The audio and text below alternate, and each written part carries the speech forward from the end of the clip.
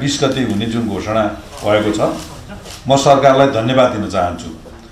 यद्यपि त्यो चुनाव गराउने सन्दर्भमा तपाईँ मिडियाका साथीहरूले पनि धेरै नै ठुलो दबाब सिर्जना गर्नुभयो। प्रमुख प्रतिपक्षी दलको नाताले र त्यसका विभिन्न जनसङ्गठनहरू मार्फत हामीले त आन्दोलनका कार्यक्रमहरू पनि घोषणा गर्नुपर्ने एउटा स्थिति बन्यो। संविधानविदहरू बुद्धिजीवीहरू नागरिक समाज सबैले व्यापक दबाब सिर्जना गरिसके पछाडि स्थानीय तहको निर्वाचनको मिति घोषणा भएको छ। त्यसलाई सफल बनाउन हामी सबैको दायित्व हो।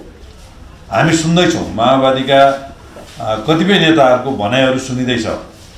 दुई महिना अगाडि डेट तोक्नु पर्थ्यो। यो चाहिँ दुई महिना अगाडि नभएको हुनाले कानुनको संशोधन गर्नुपर्छ भन्ने तहका लगायतका असङ्ख्य खालका प्रश्नहरू उठाउने र यसलाई कानुनी रूपमा चुनौती दिएर अदालतमा जाने र अदालत मार्फत फेरि स्थानीय तहको निर्वाचन सार्ने अथवा अरू विविध कारणले सार्ने खालका षड्यन्त्रहरू पनि हुन सक्छन्।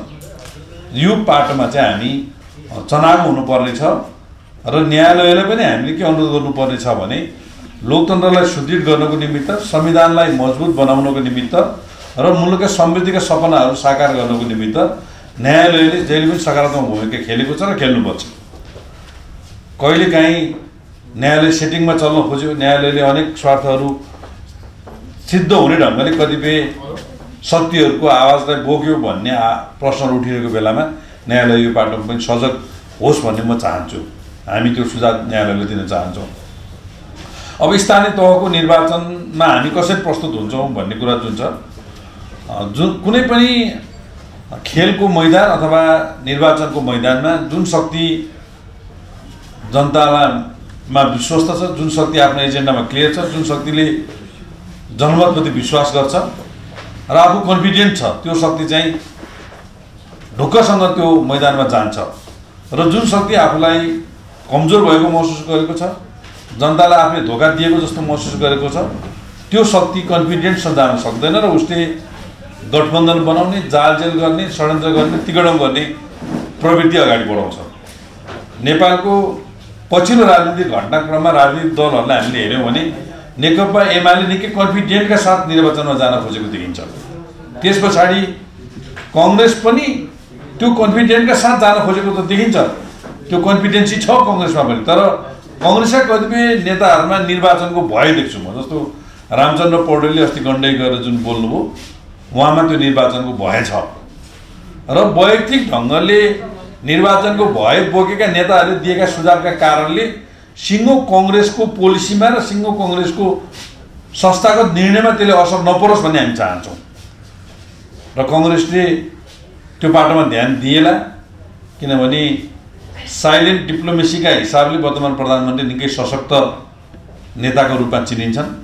त्यस भएको हुनाले उहाँले यो पाटोलाई ध्यान दिनुहोला भन्ने मलाई लाग्छ। अब जहाँसम्म विगतमा गरेका अनेक खालका कमजोरीका कारणले भविष्यमा आफ्नो पार्टीको बाटो अन्धकार देखेका कारणले कमरेड प्रचण्ड र कमरेड माधव कुमार नेपाल सकेसम्म निर्वाचन टार्ने निर्वाचन गर्दा पनि सकेसँग कङ्ग्रेससँग गठबन्धन गर्ने कङ्ग्रेससँग नसक्दा एमालेसँग पनि वार्ता गर्ने खालको यसो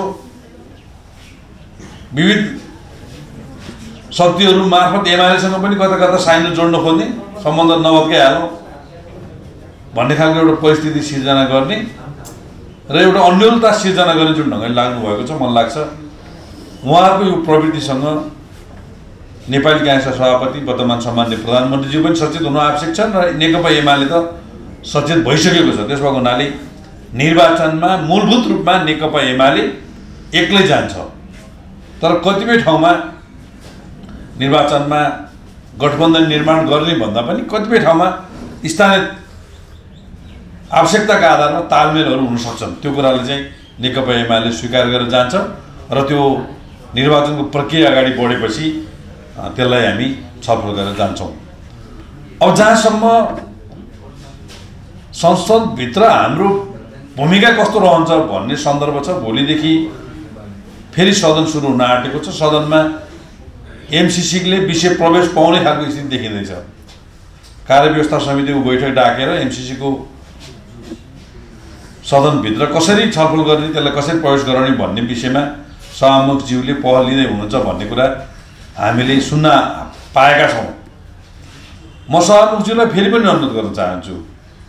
उहाँले विद्यमान ऐन कानुनलाई सम्मान गर्नु उहाँको धर्म हो र उहाँ प्रतिनिधि सभाको अभिभावकको हिसाबले उहाँले भूमिका खेल्नुपर्छ। उहाँले दलहरूको बिचमा पक्षपातपूर्ण व्यवहार देखाउनु हुँदैन। जो माओवादी केन्द्रलाई छुट्टै व्यवहार मधेसवादी दलहरूलाई छुट्टै व्यवहार र एमालेलाई उहाँले छुट्टै व्यवहार देखाउनु भएको छ। र हामीले कारवाही गरेका सांसदहरू जो गैर सांसदहरू हुनुहुन्छ उहाँहरूलाई उहाँले सभामुखको हैसियतले सूचना टाँस गर्ने मात्र अधिकारलाई दुरुपयोग गर्दै न्यायाधीशको ढङ्गले जुन उहाँलाई क्षमाध्यान दिनुभएको छ त्यो कुरा उहाँको अधिकारको कुरा होइन। त्यस भएको हुनाले यो विषयको एउटा निष्कर्ष र एउटा छिनोफानो हुनुपर्छ भन्ने हाम्रो कुरा छ। त्यसो हुँदा सभामुखज्यूका सामु तिनवटा विकल्प छन्। उहाँले ती चौधजना साथीहरूलाई एमाले कारवाही गरेको पत्रलाई सदर गर्ने कुरा उहाँको लागि सबभन्दा उत्तम विकल्प हो। यदि त्यस्तो हुन सकेन भने उहाँले आफ्नो पदबाट राजीनामा दिएर परिस्थितिलाई सहजीकरण गर्ने कुरा दोस्रो विकल्प हो। त्यो भएन र तेस्रो विकल्प भनेको चाहिँ अदालतमा मुद्दा गइरहेको सन्दर्भमा अदालतले छिटो फैसला गर्ने कुरा चाहिँ तेस्रो विकल्प हो। यो